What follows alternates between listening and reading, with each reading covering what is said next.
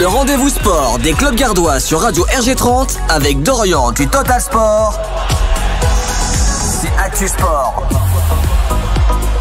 Bonjour et bienvenue dans 100% football sur les antennes de radio RG30. Et dans cette chronique, on va vous parler de l'OAC. L'OAC qui euh, a fait match nul face à Jura Sud. C'était euh, à Piparo ce euh, samedi 11 novembre. En championnat de national, Nîmes s'est lourdement incliné sur la pelouse de Versailles 6 à 0. Et oui, c'était bien Versailles euh, ici, les éclairages marchaient, le chauffage marchait, l'eau marchait. Et euh, donc, les Nîmois se sont donc inclinés à l'issue de euh, cette rencontre. Merci de nous avoir suivis dans cette chronique et dans ce flash un petit peu spécial. voilà, il n'y avait que deux résultats de nos clubs sportifs gardois. Ce sera le retour ce week-end pour Beaucaire.